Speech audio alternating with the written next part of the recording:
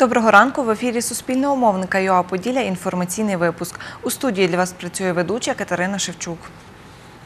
Стан пацієнтки, яка перебуває у реанімації міської лікарні у Кам'янці-Подільському після ДТП, стабільно важкий. Про це повідомив головний лікар медзакладу Олег Чернецький. За його словами, одна з трьох пацієнток травматологічного відділення лікуватиметься амбулаторно. Стан усіх трьох пацієнтів задовільний. Інші травмовані, що перебуває у реанімації районної лікарні, загрози життю немає, каже головний лікар медичної установи Віталій Шевчук. Додає, ще двоє пацієнтів перебуває у травматологічному відділенні. Їх стан задовільний. Нагадаю, дорожньо-транспортна пригода сталася 2 листопада близько 11 години ранку поблизу села Довжок Кам'янець-Подільського району. За попередніми даними правоохоронців, рейсовий автобус, який рухався за маршрутом Залісся 1 Кам'янець-Подільський, з'їхав у кювет та перекинувся. У результаті аварії 31-річний водій та 11 пасажирів автобуса отримали тілесні ушкодження різного ступеня важкості. Потерпілих доставили у Кам'янець-Подільську районну лікарню. Деталі та причини дорожньо-транспортної пригоди встановлюються, каже прес-секретар головного управління Нацполіції області Інна Глега. Півтора мільйона гривень субвенції з державного бюджету очікують отримати у рамках проєкту капітального ремонту дитячого майданчика у Хмельницькому парку імені е, Шевченка. Про це каже начальник міського управління житлово-комунального господарства Василь Новачок. Додає, ці кошти закладені у тих 3,3 мільйона гривень, що передбачені проєктом на ремонт. З них планують закупити інклюзивне обладнання.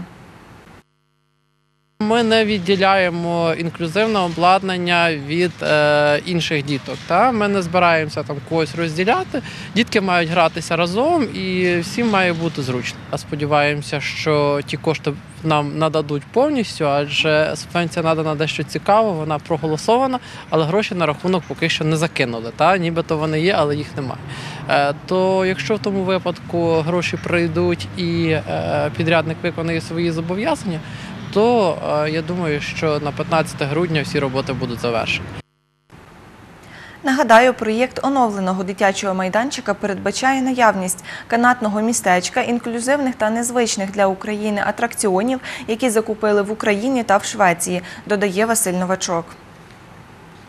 Пішки з Хмельницького до Риму з рюкзаком вагою понад 40 кілограмів прийшов хмельничан Іван Лишик. Відстань у 2,5 тисячі кілометрів чоловік подолав за 71 день. Яким маршрутом йшов та що траплялось під час подорожі, дізнавалась Леся Боровець. Іван Лишик викладає італійську мову. Свого часу навчався в коледжі та університеті в Римі, володіє шістьма мовами. Пішки до Риму вирішив піти, щоб наслідувати свого прадіда Івана, виходця з Львівщини, який з Риму дійшов до України. У 1914 році він був мобілізований під час Першої світової війни під правлінням Австрії та о, потрапив аж в північну Італію, де був поранений, його вилікували, демокомісували і повернувся він додому пішки звідти, близько місяця часу.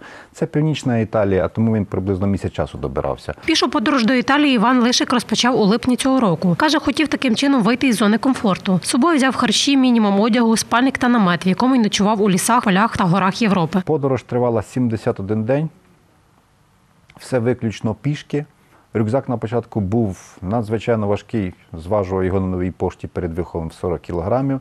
Згодом він почав легшати, я почав йти швидше, хоча на початку з тією вагою я міг проходити не більше 30 кілометрів в день. Коли мене рюкзак важив вже близько 20-25 кілограмів, я міг проходити на день від 40 до 45 кілометрів. З України через Польщу, Словаччину, Австрію, Угорщину, Словенію, вздовж Адріатичного моря через Венецію до Риму. Йшов другорядними автошляхами у будь-яку погоду, керуючись картою та компасом. Каже, вразила природа. Протягом цього походу було п'ять зустрічей з кабанами. Перший раз це було невелике стадо, яке дремнуло від мене, почувши від мене.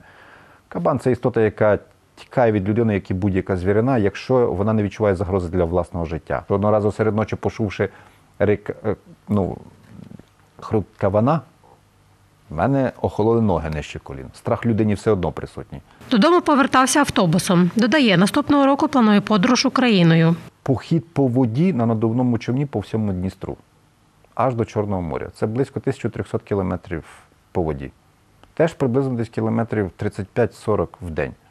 Я вже це робив. Я вже це робив минулого року за 3,5 дні з Жванця до е, села Березівка, Хмельницька область, 120 кілометрів за 3,5 дні на веслах. Навіть спеку 35. І це можливо. І я знаю, що я це поможу. У перспективних планах мандрівка до Норвегії. Фьорд, Норвегія. До вікінгів. У мене якийсь дух їх трохи, напевно, є. Вони звідти плили аж доходили до нас. В нас їхній ще й можливо і гений. Неможливо. А так є підтверджено фактами. То чому не навпаки? Я налаштований це надзвичайно рішуче. Іван Лишик вважає, немає нічого неможливого, якщо повірити в себе. Я дійшов до Риму. А ти? Леся Боровець, Віктор Кривий. Новини на Суспільному. Хмельницький.